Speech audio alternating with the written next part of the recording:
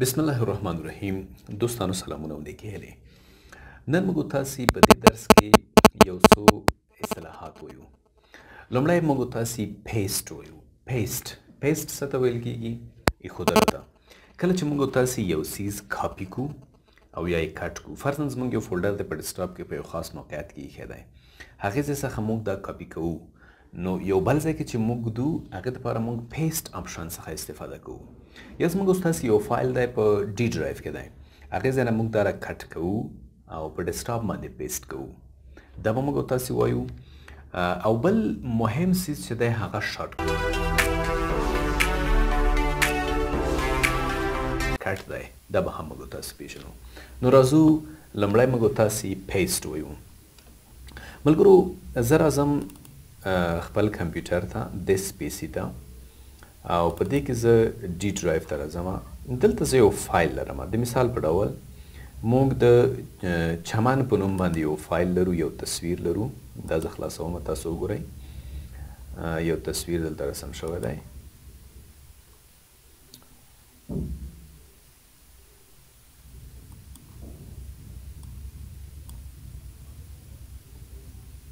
چمن ډاټ پی ان جی ښه دا به خلاصیږي نه پوهېږم تصویر دا د خلاص شو دا وګورئ موږ یو ګذرحال تصویر لرو دا تصویر زه کاپي کوم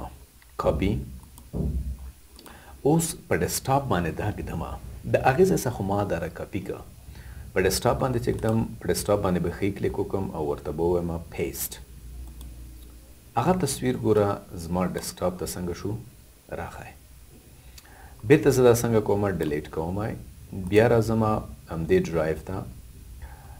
دا ځل خی کلیک کوم کټ کوم د کاپی مطلب خو دا وو چی دا فایل د دې ځای څخه موږ د دې کاپی واخیستله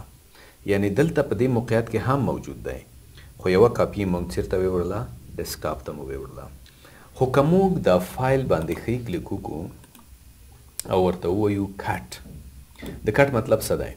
د کټ مطلب دا دی چې د دې ځای څخه دا فایل بلکل ختم شو.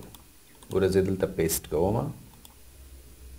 اصلي موقعیت ته که زه بیرته راشم دلته تاسو اوس د چمن په نوم باندې فایل یا هغه تصویر نه شئ پیدا کولای.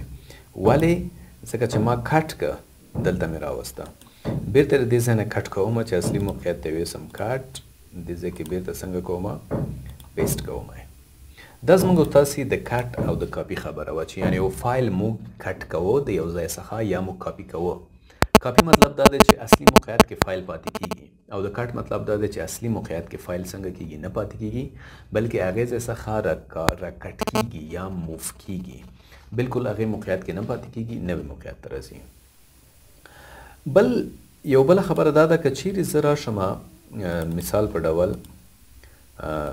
مای کمپیوټر ته یا دس پی سی ته راشم دلته زه فرضاً پروډکشن ډرایو ته راغلم په دې ډرایو کې زه دغه د اووم کلاس دا فایل کاپی کوم خو تاسو وګورئ دا فایل چې دی مکمل ډیر زیات غټ دی دا فولډر دوه ویشت اشاریه یو جی بي دی زه غواړم چې دا کاپی کوم نو دا خو ډیر زیات وخت نیسي نو زه داسې کوم یو تخنیک نه استفاده کوم دا کاپي کوم او بیا راځم ډیسکټاپ ته دلته ورته وایم پیسټ شارټ کټ د شارټ کټ په ډول باندې به پیسټ شي راځئ لومړی موږ او تاسو په دې باندې وغږیږو چې دا شارټ کټ څه ته ویل کیږي ملګرو شارټ کټ شارټکټ ویل کیږي لنډه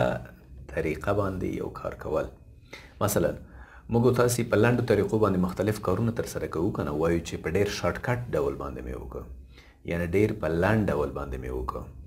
نو په کمپیوټر کې هم دا یو شارټ کټ دی موږ تاسو اصلي فولډر په بل ځای کې 22.1 جی بي وو هغه موږ تاسو راوغسته ډیسکټاپ کې مو پیسټ کړ خو د یو شارټ کټ په ډول باندې نو اصلي ډیټا په بل ځای کې ده دلته صرف شارټ کټ دی ګوري تاسو سکرین ته متوجه شئ زه چې په دې شارټ کټ باندې ډبل کلیک وکم حقیقت کې ماته اماغه ګوره دیس پی سی پروډکشن یا ډی ډرایو همدارنګه اوم کلاس هغه فولډر ماته څنګه که خلاص که دا شارټ کټ دی اکثره پروګرامونه هم شارټ کټونه لري تاسو وګورئ که چیرې موږ په ډیسکټاپ باندې د یو خاص پروګرام شارټ کټ جوړول غواړو نو موږ او تاسو دا د سټارټ مینو ته راځو زه غواړم چې د ګوګل کروم یو شارټ کټ خپل ډیسکټاپ ته راولم نو ګوګل کروم باندې ښی کلیک کوم کله چې مې ښی کلیک وکړ بیا راځم مور ته او بیا راځم اوپن فایل لوکیشن دې باندې کلیک کوم په دې ساحه کې ملګرو تاسو وګورئ د دلته ګوګل کروم موجود دی په دې باندې ښی کلیک کوم او ورته وایم سند ډیسکټاپ کریټ شارټ کټ ډیسکټاپ ته د دې یو شارټ کټ څنګه کا ولېږه دلته وګوره ډیسکټاپ ته یو شارټ کټ راولېږه داسې یوه ایرو یا داسې یو ویکټور غوندې په دې باندې رسم دی. دا ویکټور چې تاسو په خپل ډیسکټاپ کې په هر ځای کې ولیده، په هر ایکن باندې مو ولیده، د دې مطلب دا دی چې دا شارټ کټ دی. وګوره دغه او سیونت کلاس یې لیکلی.